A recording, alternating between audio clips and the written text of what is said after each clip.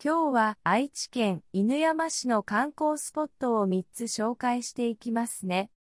犬山市は愛知県の北東部に位置し、市の北端を木曽川が流れている市です。西部から南部にかけて平地が広がり、豊かな田園風景の中に住宅街や大規模工場などが点在しています。その一方、北部から東部にかけては、丘陵地で、飛騨木曽川国定公園に指定され、市の象徴とも呼べる犬山城は、日本最古の天守閣として国宝に指定されています。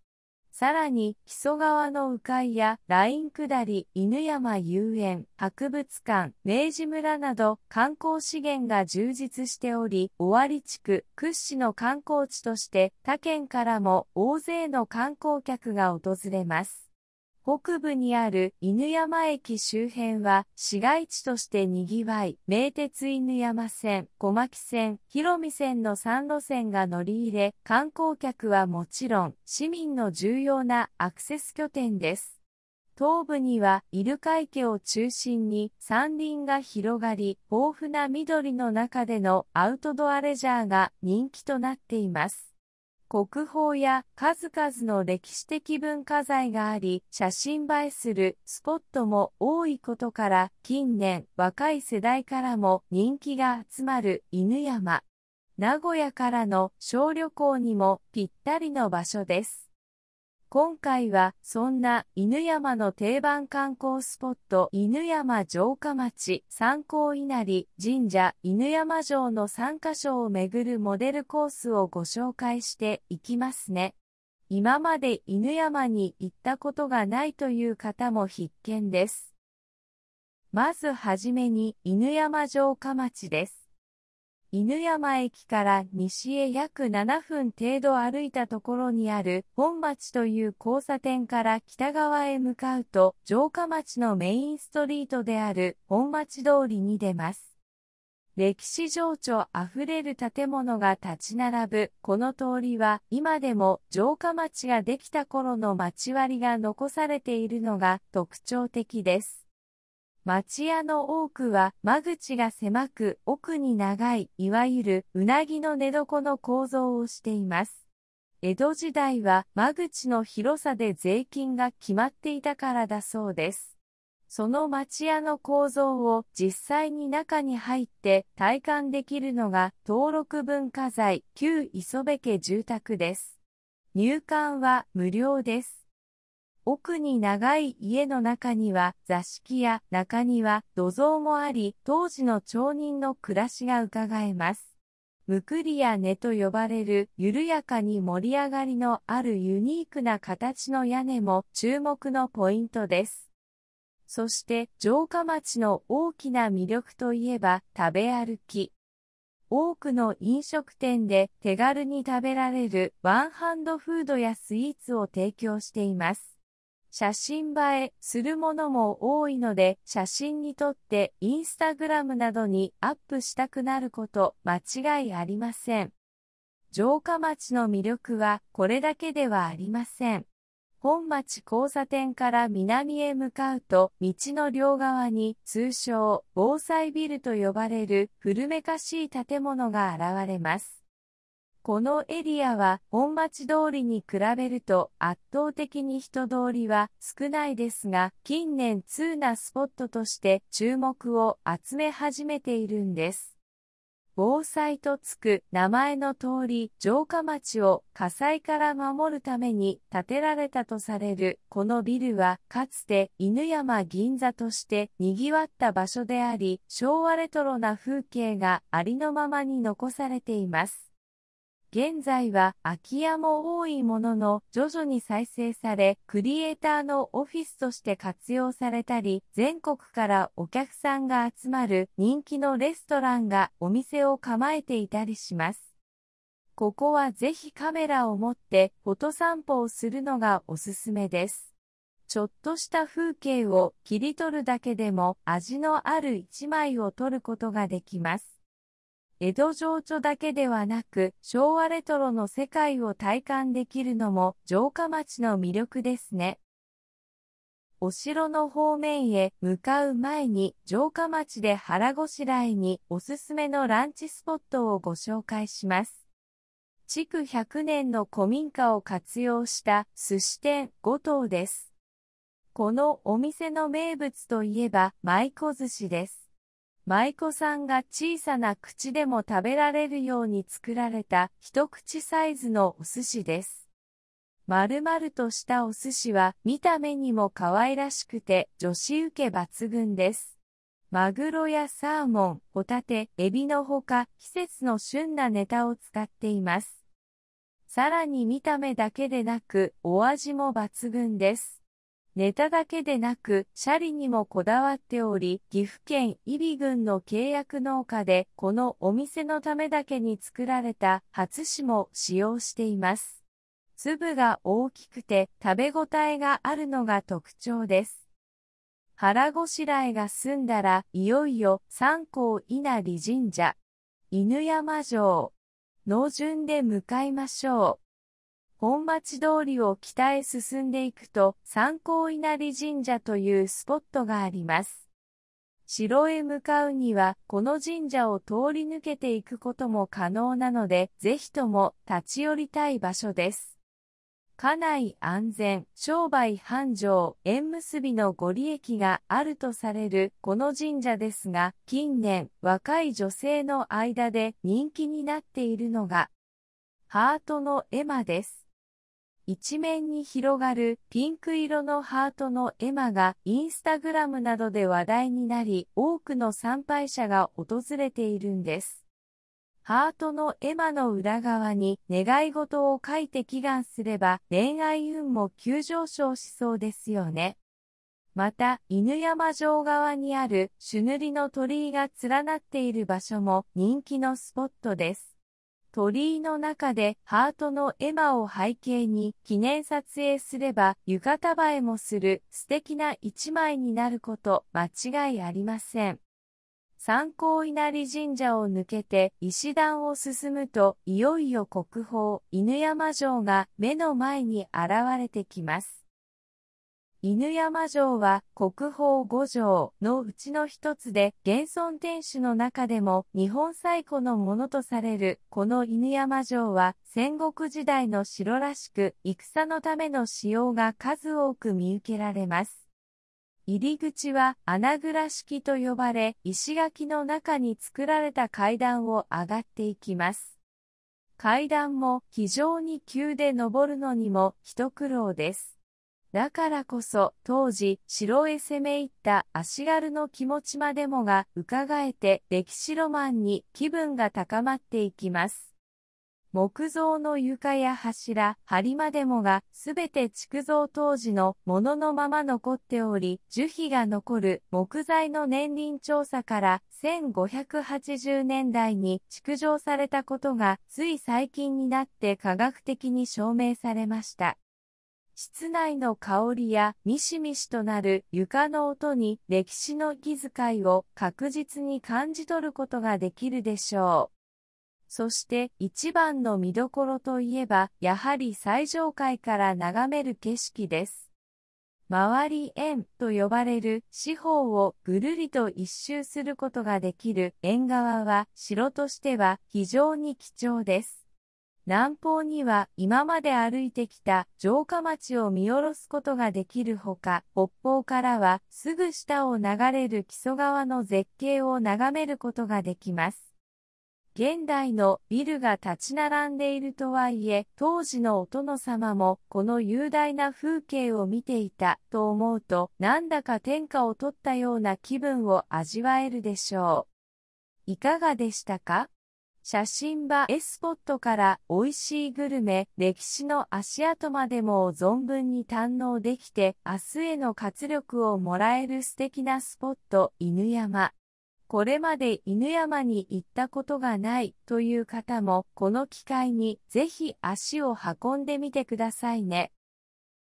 今日は動画を見てくれてどうもありがとうございます。グッドボタンとチャンネル登録よろしくお願いします。動画制作の励みになります。皆さんは日本のどんなことが知りたいですか？ぜひコメントで教えてくださいね。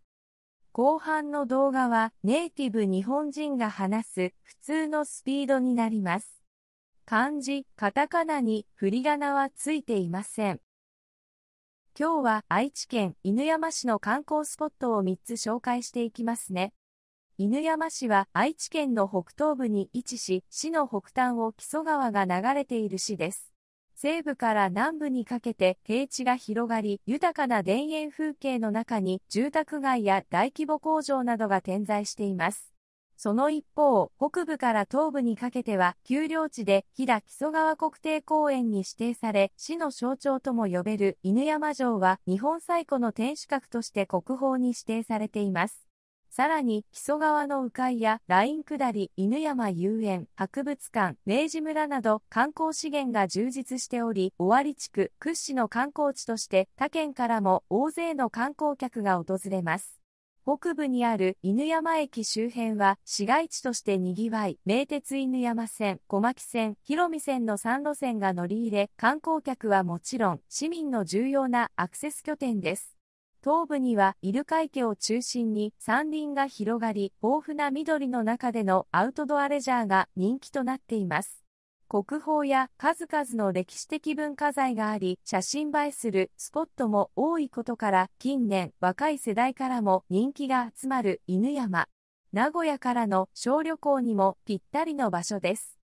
今回はそんな犬山の定番観光スポット、犬山城下町三光稲荷神社犬山城の3カ所を巡るモデルコースをご紹介していきますね。今まで犬山に行ったことがないという方も必見です。まずはじめに犬山城下町です。犬山駅から西へ約7分程度歩いたところにある本町という交差点から北側へ向かうと城下町のメインストリートである本町通りに出ます。歴史情緒あふれる建物が立ち並ぶこの通りは今でも城下町ができた頃の町割りが残されているのが特徴的です。町屋の多くは間口が狭く奥に長い、いわゆるうなぎの寝床の構造をしています。江戸時代は間口の広さで税金が決まっていたからだそうです。その町屋の構造を実際に中に入って体感できるのが登録文化財旧磯部家住宅です。入館は無料です。奥に長い家の中には座敷や中庭、土蔵もあり、当時の町人の暮らしが伺えます。ムクリア根と呼ばれる緩やかに盛り上がりのあるユニークな形の屋根も注目のポイントです。そして城下町の大きな魅力といえば食べ歩き。多くの飲食店で手軽に食べられるワンハンドフードやスイーツを提供しています。写真映えするものも多いので写真に撮ってインスタグラムなどにアップしたくなること間違いありません。城下町の魅力はこれだけではありません。本町交差点から南へ向かうと、道の両側に通称、防災ビルと呼ばれる古めかしい建物が現れます。このエリアは本町通りに比べると圧倒的に人通りは少ないですが、近年通なスポットとして注目を集め始めているんです。防災とつく名前の通り、城下町を火災から守るために建てられたとされるこのビルは、かつて犬山銀座として賑わった場所であり、昭和レトロな風景がありのままに残されています。現在は空き家も多いものの徐々に再生され、クリエイターのオフィスとして活用されたり、全国からお客さんが集まる人気のレストランがお店を構えていたりします。ここはぜひカメラを持ってフォト散歩をするのがおすすめです。ちょっとした風景を切り取るだけでも味のある一枚を撮ることができます。江戸情緒だけではなく昭和レトロの世界を体感できるのも城下町の魅力ですね。お城の方面へ向かう前に城下町で腹ごしらえにおすすめのランチスポットをご紹介します。築100年の古民家を活用した寿司店5島です。このお店の名物といえば舞妓寿司です。舞妓さんが小さな口でも食べられるように作られた一口サイズのお寿司です。丸々としたお寿司は見た目にも可愛らしくて女子受け抜群です。マグロやサーモン、ホタテ、エビのほか季節の旬なネタを使っています。さらに見た目だけでなく、お味も抜群です。ネタだけでなく、シャリにもこだわっており、岐阜県揖斐郡の契約農家で、このお店のためだけに作られた初紙も使用しています。粒が大きくて食べ応えがあるのが特徴です。腹ごしらえが済んだら、いよいよ三光稲荷神社、犬山城の順で向かいましょう。本町通りを北へ進んでいくと、三光稲荷神社というスポットがあります。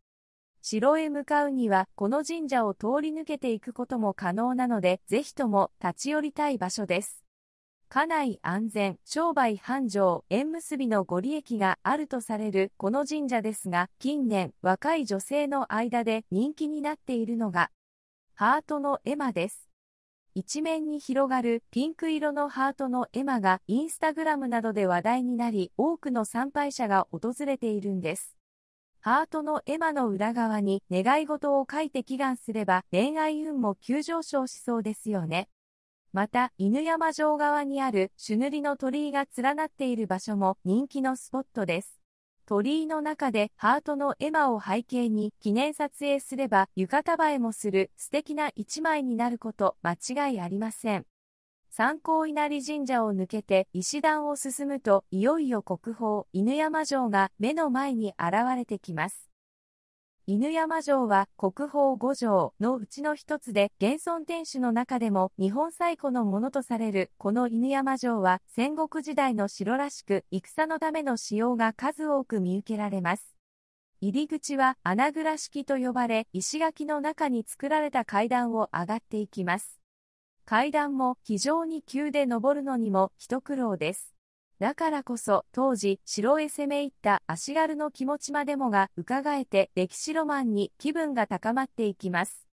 木造の床や柱、梁までもがすべて築造当時のもののまま残っており、樹皮が残る木材の年輪調査から1580年代に築城されたことがつい最近になって科学的に証明されました。室内の香りやミシミシとなる床の音に歴史の気遣いを確実に感じ取ることができるでしょう。そして一番の見どころといえば、やはり最上階から眺める景色です。周り円と呼ばれる四方をぐるりと一周することができる縁側は城としては非常に貴重です。南方には今まで歩いてきた城下町を見下ろすことができるほか、北方からはすぐ下を流れる木曽川の絶景を眺めることができます。現代のビルが立ち並んでいるとはいえ、当時のお殿様もこの雄大な風景を見ていたと思うと、なんだか天下を取ったような気分を味わえるでしょう。いかがでしたか？写真場エスポットから美味しいグルメ、歴史の足跡までも存分に堪能できて、明日への活力をもらえる素敵なスポット、犬山。これまで犬山に行ったことがないという方も、この機会にぜひ足を運んでみてくださいね。